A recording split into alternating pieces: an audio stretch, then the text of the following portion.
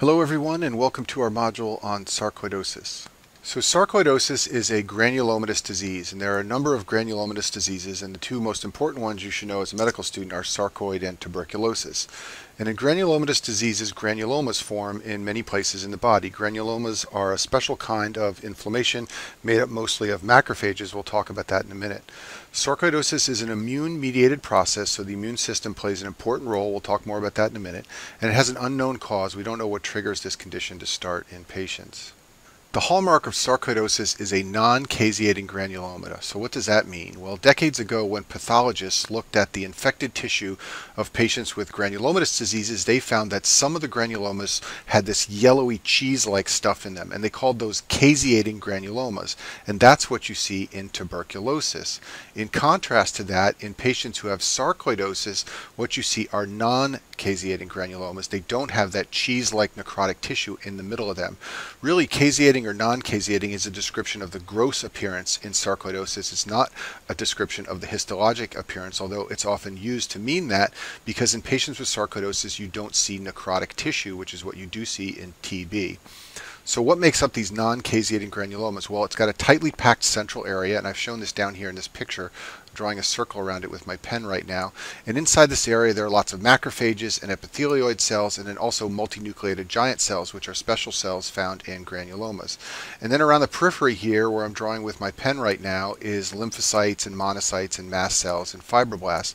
The most important thing to notice about this picture right here is that there is not a lot of dead tissue here in the center. If there were lots of dead tissue and no nuclei, that would be a caseating granuloma like you see in TB.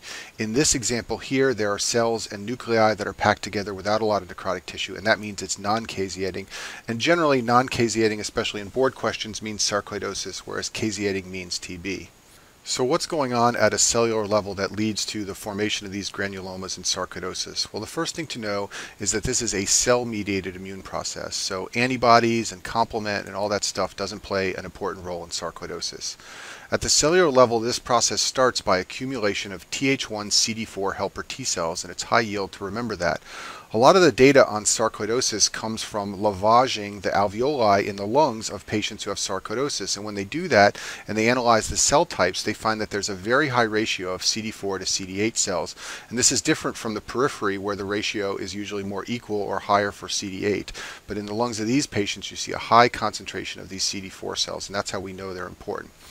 These cells secrete IL-2 and interferon gamma. Those are very important chemical mediators. The IL-2 stimulates T cell proliferation and the interferon gamma activates macrophages. Ultimately, all this leads to granuloma formation. So if you're not going to be a basic science researcher and you just kind of want to know what you need to know about this process at a basic level, just remember that the CD4 T cells are important and that IL-2 and interferon gamma are also very important. So as I said in the beginning, in sarcoidosis, granulomas form all over the body, but let's talk about some of the specific problems patients with sarcoidosis develop. The lungs are the most common site of organ involvement, and that's why we're discussing this in the pulmonary modules, and I'll talk more about lung sarcoid in a minute. You can also get involvement of the skin and the eye. I'll talk more about those in detail in a minute. Sarcoid can sometimes involve the heart, and the granulomas can block the conduction of electrical activity, and this can lead to heart block. So these patients can present with bradycardia and syncope and signs of AV dissociation and heart block on their EKG. Patients with sarcoid also sometimes develop a cardiomyopathy.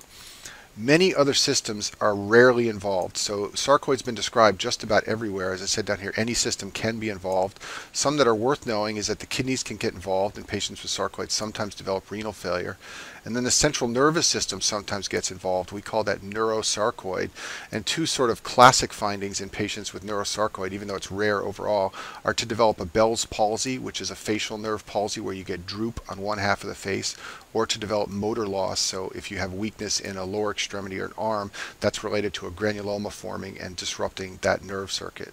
It's very important you know two classic things about the lung involvement in sarcoid. The first is that hilar lymphadenopathy is a classic finding. So in this chest x-ray down here, I'm circling the hilar lymph nodes with my pen. They are enlarged and bright white in this chest x-ray, and that's hilar lymphadenopathy. You can also see that with tuberculosis, but it's classic for sarcoid. And then the classic symptom is to have cough and dyspnea. Sarcoid can also cause other lung findings like infiltrates that look sort of like pneumonia, and it can also lead to pulmonary fibrosis. But these are the two things you definitely need to make sure you know about the hilar lymphadenopathy and the cough and dyspnea. The skin gets involved in sarcoid, and there are many lesions that are possible. So if you look up the literature on this, you'll see that patients with sarcoid have been found to have plaques and maculopapules and subcutaneous nodules. But the classic sarcoid lesion you should know for your boards is erythema nodosum, and this is a picture of it down here on the right. It's these red splotches, usually on the shins, that are inflamed and painful. It's inflammation of fat cells under the skin from granulomas, and they're tender and they're usually on both shins, and this is a pretty classic example down here on the right.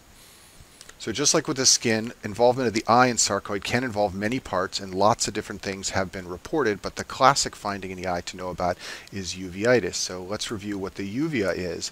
It's the iris, the ciliary body, and the choroid. I'm drawing black markings through it here with my pen.